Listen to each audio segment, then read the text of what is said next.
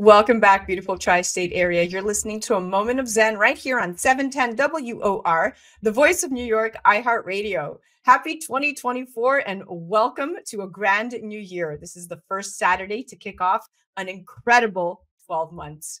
Welcome to America's favorite pharmacist, brought to you by Triquetra Health. We're chatting with my amazing co host, pharmaceutical expert and contributor, Phil Cowley, joined by my dear friend, actress McKenzie Westmore, and founder of Westmore Beauty. Today, we're chatting about the increased use of semaglutide and is it safe for children, the side effects you must be aware of, and the risks you may not know about.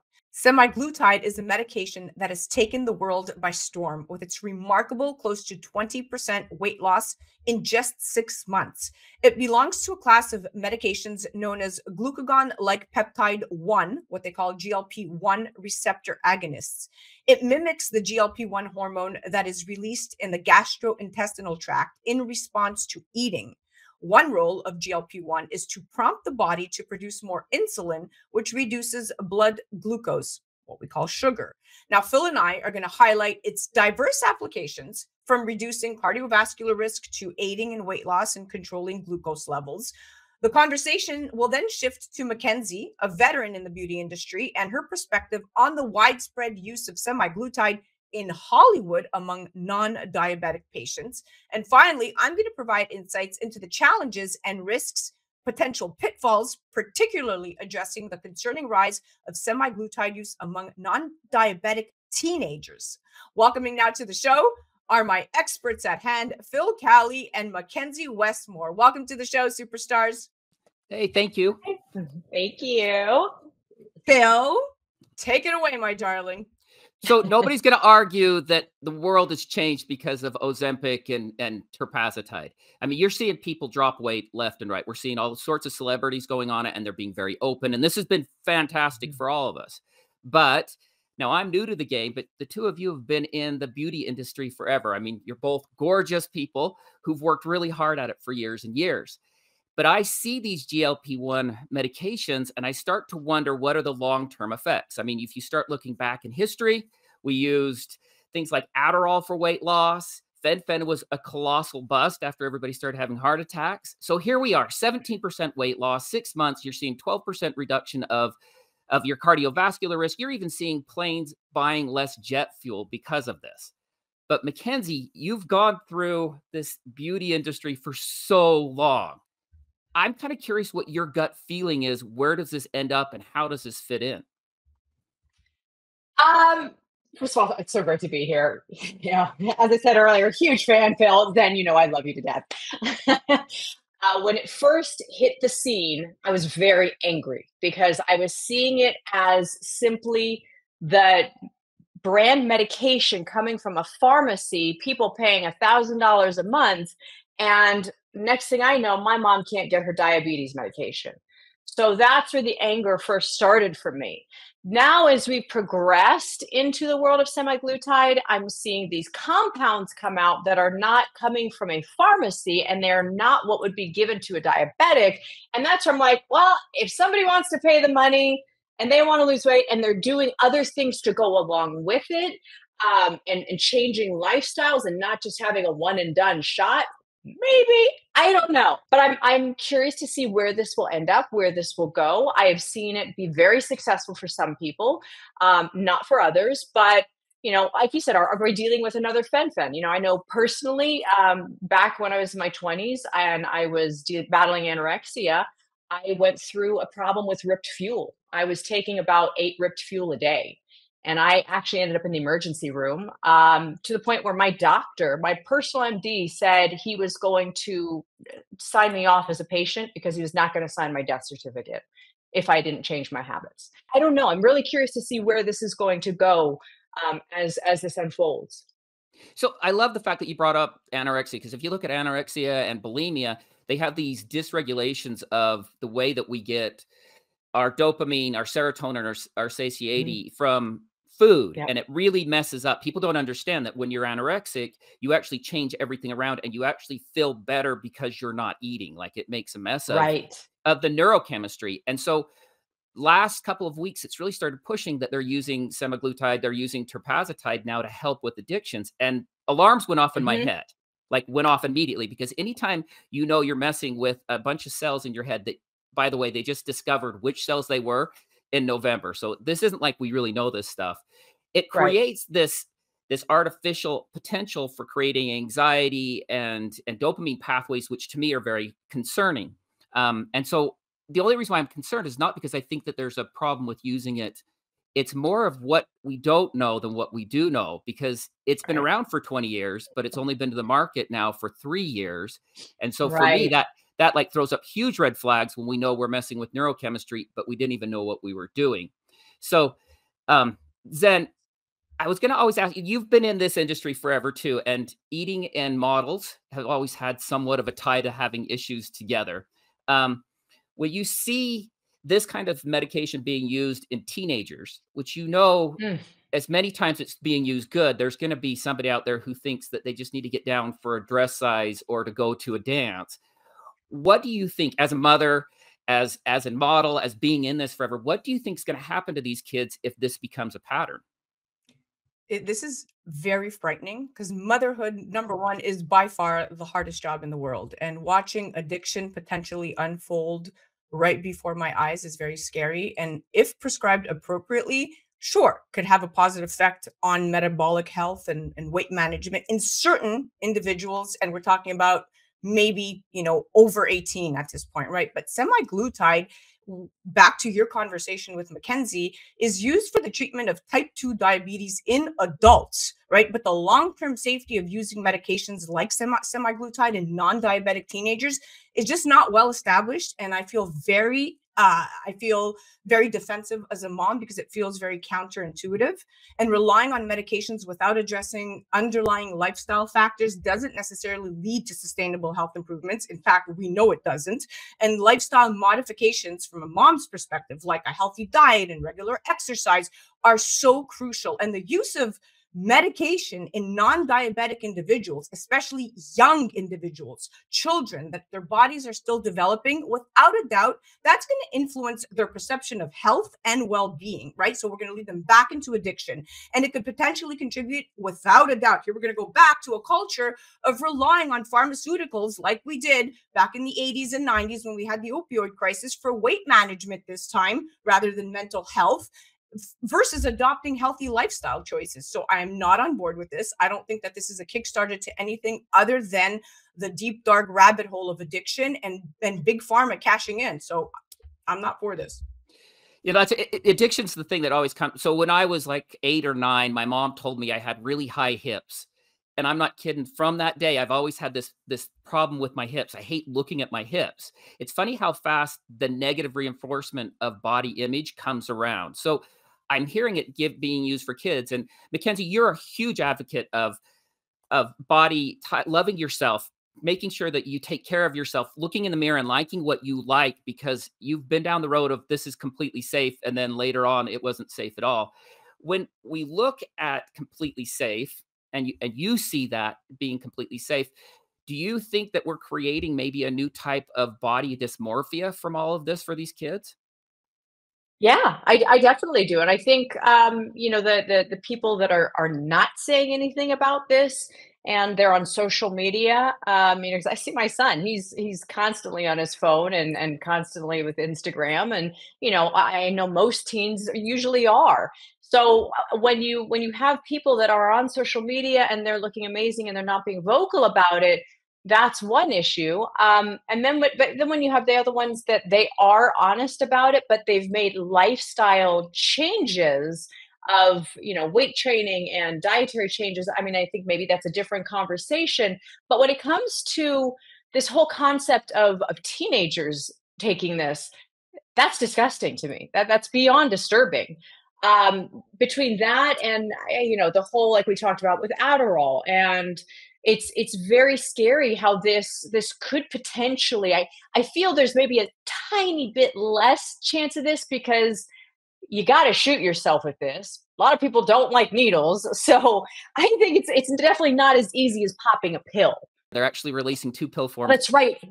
Yes so, you're right. so we gotta, i did read gotta, that. Then we all know that there's danger in dopamine. Like we know that things that are dopamine chasing, you know, people that drink heavily, we we create these pathways in our brain. We it doesn't matter what you do.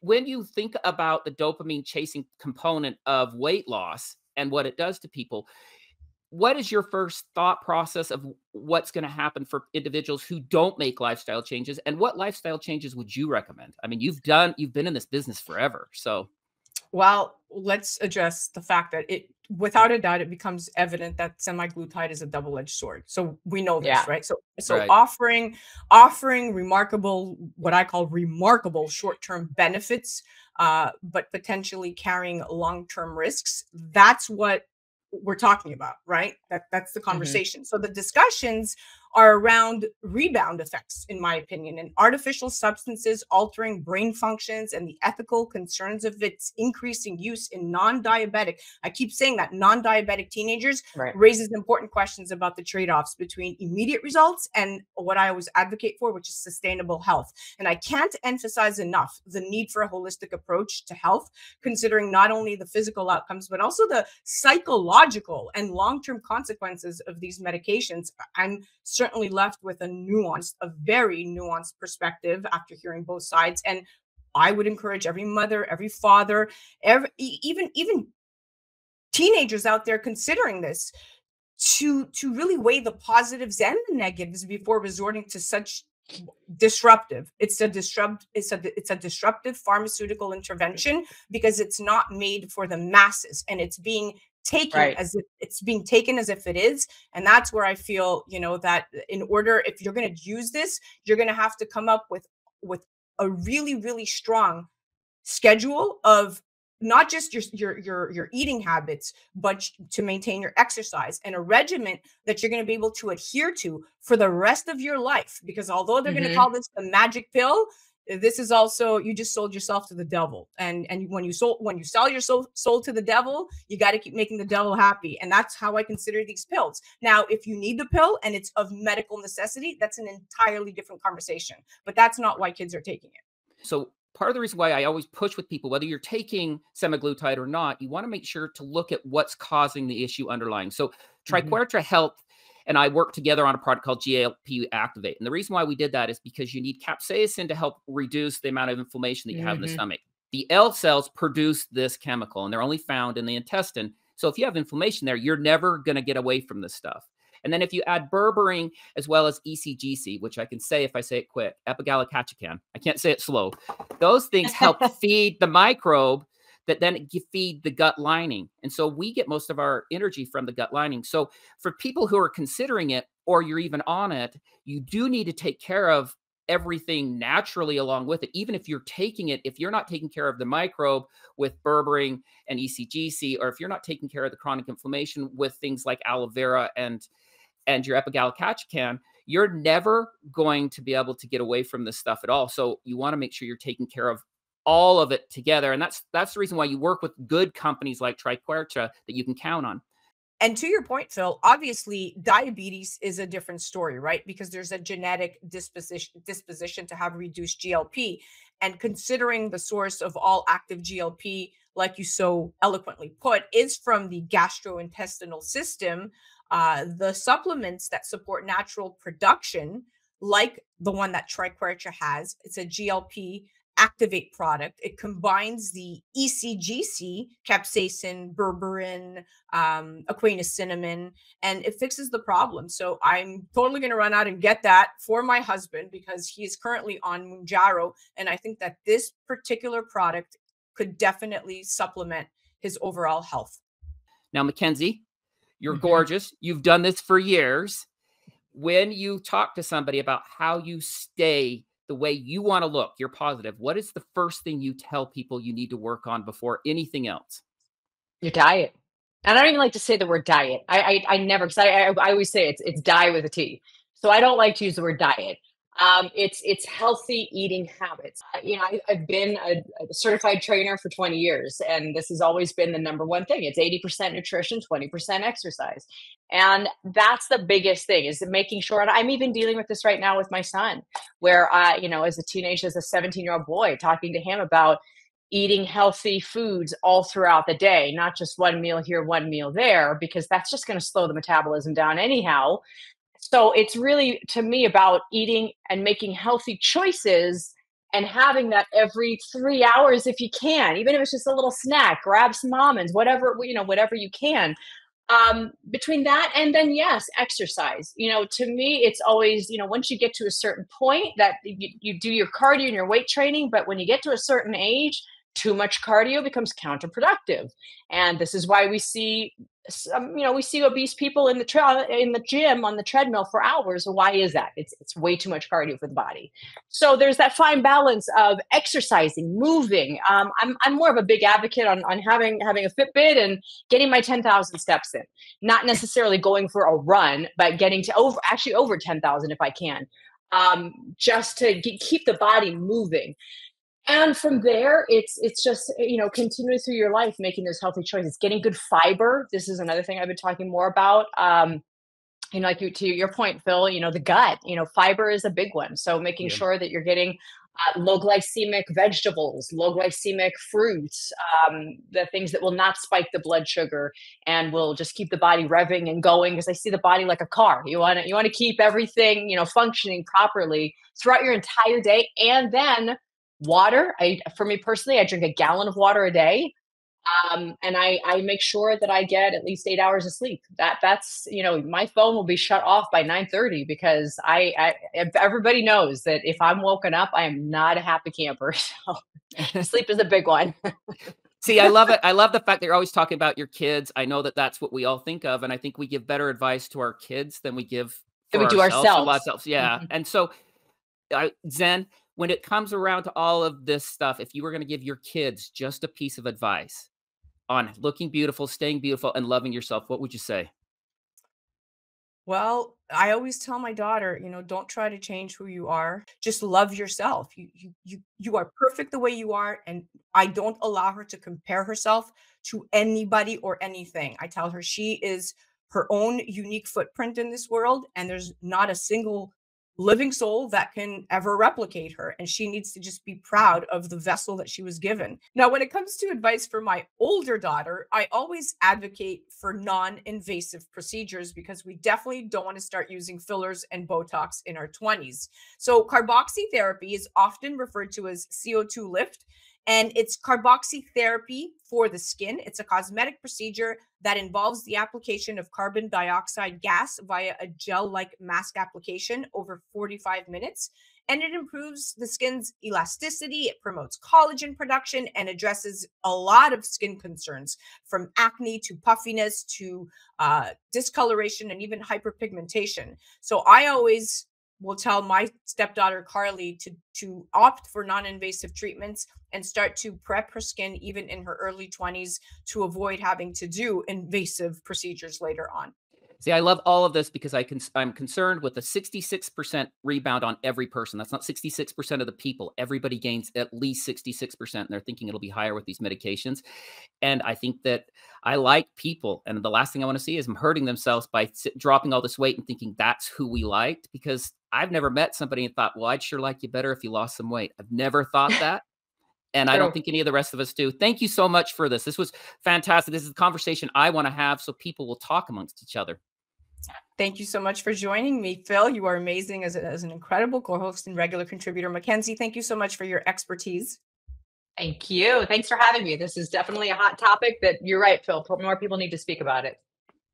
That was America's favorite pharmacist segment brought to you by Triquetra Health. That was the awesome pharmaceutical expert Phil Cowley. You can check him out on the gram at Phil's My Pharmacist. And that was the beautiful and incredible McKenzie Westmore. You can head directly to their website at westmorebeauty.com. Welcome to 2024, my dear friends. We'll see you next week. You're listening to a moment of Xen right here on 710 WOR, the voice of New York iHeartRadio.